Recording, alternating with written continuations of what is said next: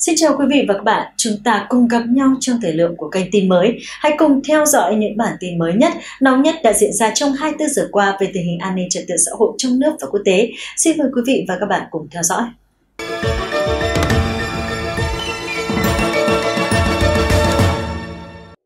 Bản tin lũ lụt Trung Quốc mới nhất ngày 18 tháng 7 năm 2023.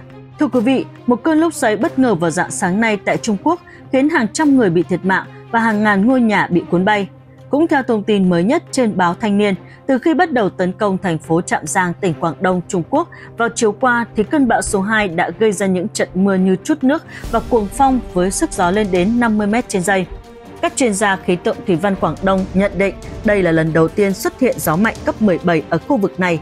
Không chỉ dừng lại ở đó, cơn bão số 2 khiến trong 15 người khác mất tích.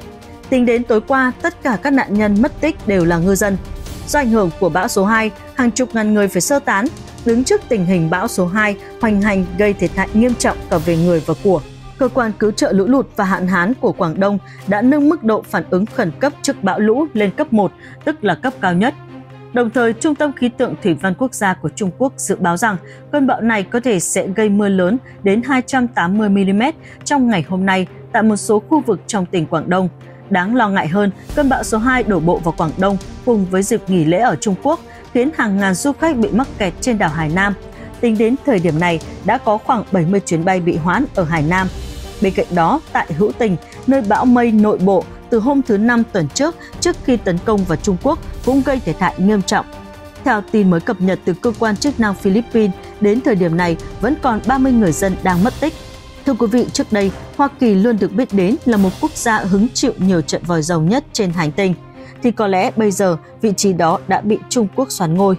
Bên cạnh những trận thiên tai như lũ lụt mưa đá cứ đến rồi đi liên tục, gần đây thì liên tiếp một tuần nay có hàng trăm trận vòi rồng với sức tàn phá khủng khiếp, cứ bất biến không chịu rời đi.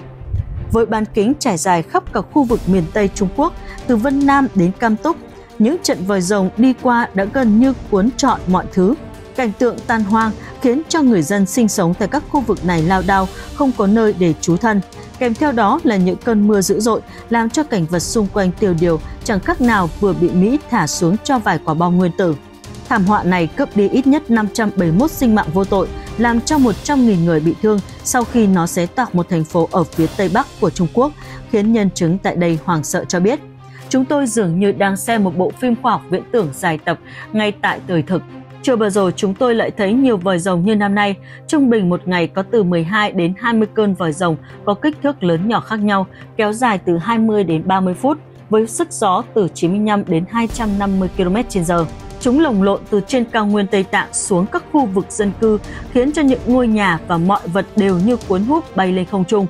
Với tốc độ sức gió khủng khiếp ở trung tâm, chấn động của trận lốc xoáy này đo được là 170 km/h, đó là giới hạn tận cùng trên các thang biểu của dụng cụ chuyên dụng để đo gió lốc.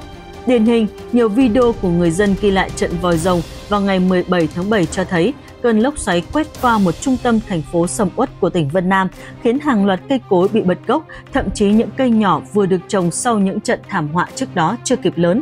Nhiều cửa sổ của các tòa nhà cao tầng, các bệnh viện bị vỡ tung, thậm chí các mái tôn cũng bị bay nhiều đồ vật bị bay lên bầu trời, sau đó rớt xuống cũng như những cơn mưa đá, rơi trúng và nhiều người tử vong hàng loạt. Bên cạnh đó thì nhiều xe hơi cũng bị lật đổ, ngổn ngang trên đường như ngày tận thế. Theo nguồn tin truyền thông nhà nước Trung Quốc cho biết, trên những mái nhà của tòa nhà cũng bị phá hủy và những đường dây điện bị đánh sập ngổn ngang, nằm trồng chéo như một cơn lốc xoáy tấn công tại thành phố.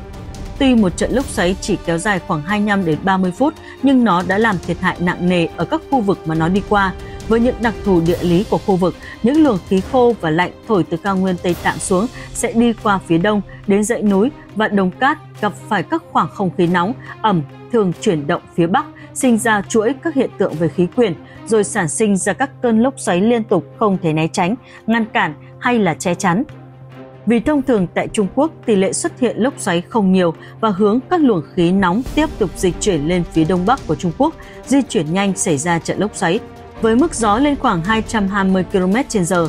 Hiện công tác tìm kiếm và cứu nạn, cứu hộ đang được triển khai khi các cơ quan ứng phó khẩn cấp địa phương nhận thông báo vẫn còn nhiều người bị mắc kẹt dưới đống đổ nát và các nhà máy khu vực xảy ra lốc xoáy.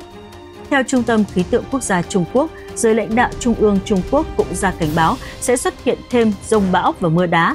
Mưa bão tiếp theo sẽ kéo dài 60 phút kèm theo lốc xoáy và lượng mưa đo được là 850 mm.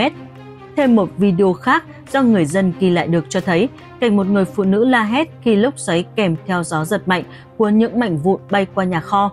Các nhà máy thủy tinh, gỗ, gạch và cây cối cuộn xoáy trong không khí, trong khi người dân cuống cuồng tìm nơi trú ẩn.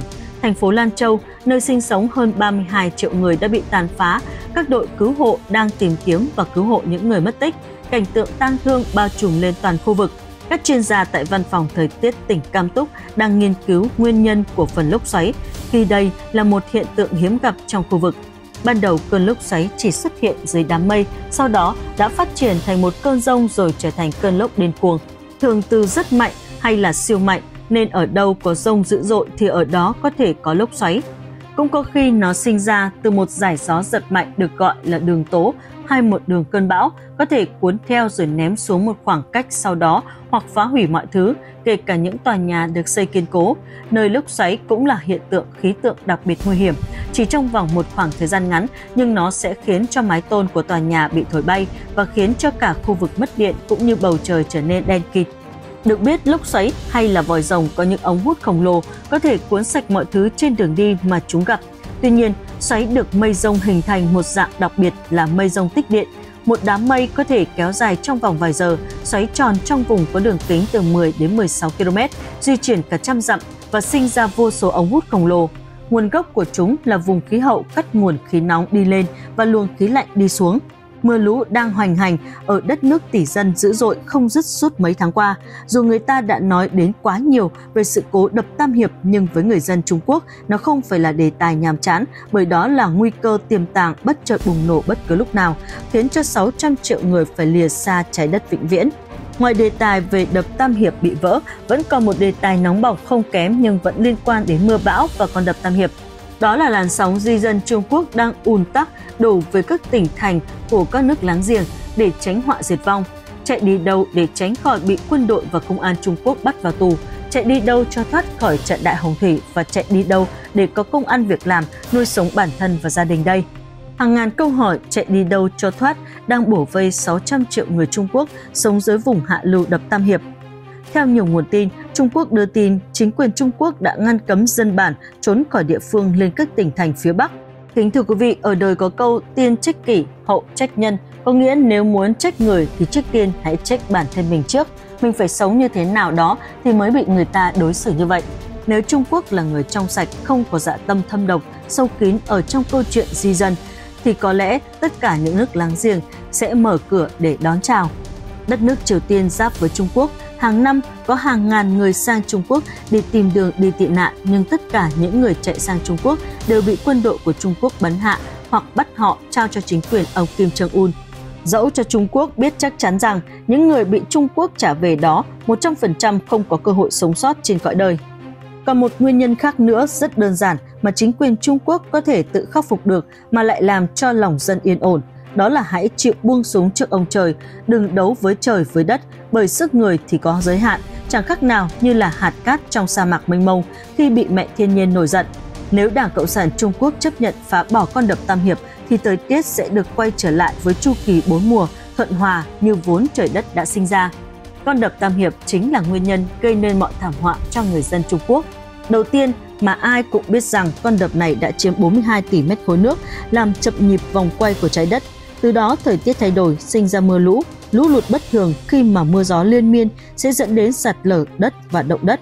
Từ động đất sinh ra vỡ đê, sóng thần, hố tử thần, núi lửa, dịch bệnh và các sinh vật lạ phát triển dẫn đến con đập Tam Hiệp sẽ bị vỡ.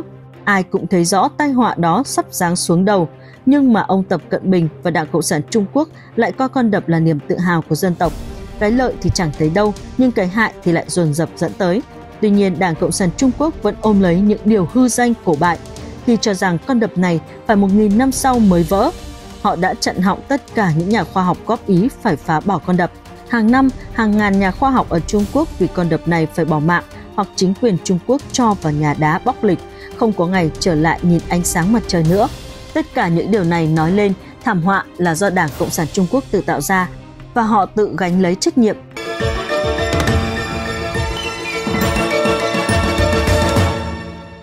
Trên đây là những thông tin tổng hợp chi tiết những nội dung nổi bật trong ngày của tin mới. Cảm ơn quý vị và các bạn đã chú ý theo dõi tới cuối video này. Mọi ý kiến đóng góp, quý vị hãy để lại trong phần bình luận phía dưới để đội ngũ của chúng tôi có thể kịp thời hồi đáp.